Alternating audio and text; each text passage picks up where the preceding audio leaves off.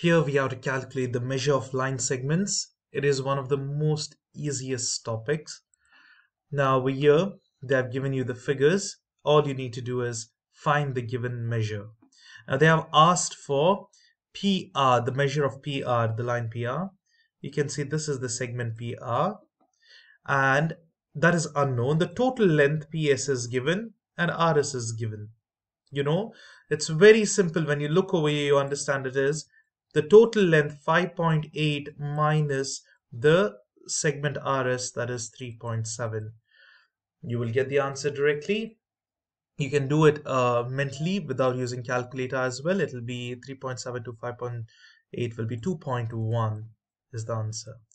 Or you can just use your calculator and similarly answer and make sure that you remember which measurement is given. It is given as mm. That means it's millimeter.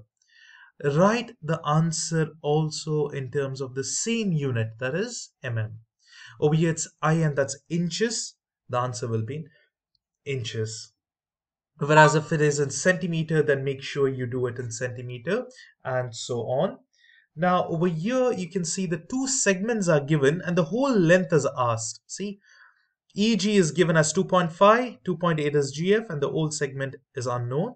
Simply add these two, uh, two segments, you will get the answer. That is 5.3.